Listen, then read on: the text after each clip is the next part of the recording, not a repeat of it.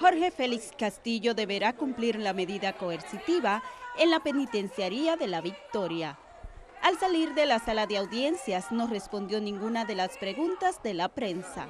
Familiares de la víctima expresaron que demandarán civilmente a la empresa de transporte Caribe Tours, donde laboraba el imputado, para que responda por el hecho. Él se está lamentando ahí pidiendo de que perdón después que lo mata y eso, mentira. Es justicia, Juan y le hagan lo mismo que le hizo a Melvin.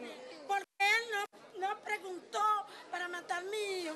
Y todo el peso de la ley para, mí, para él.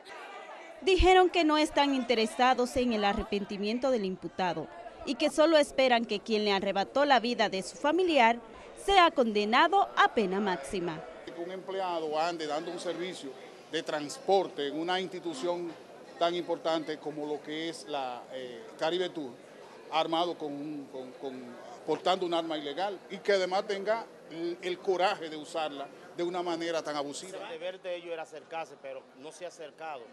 No, no nos ha tomado, yo puedo decir que no nos ha tomado en cuenta, porque yo no tengo que andar detrás de ellos, de eso se encarga mi abogado en tanto que el abogado del imputado entiende que su defendido tiene una responsabilidad penal, por lo que tratará de establecer cómo sucedieron los hechos. Hay una responsabilidad penal y lo único que vamos a tratar de ver es en qué circunstancias ocurrieron los hechos y si existen una, una de esas circunstancias que yo le establecí, como amenaza, provocación, eh, algún tipo de agresión grave, o eh, los hechos ocurrieron en un estado de necesidad con relación a nuestros representantes.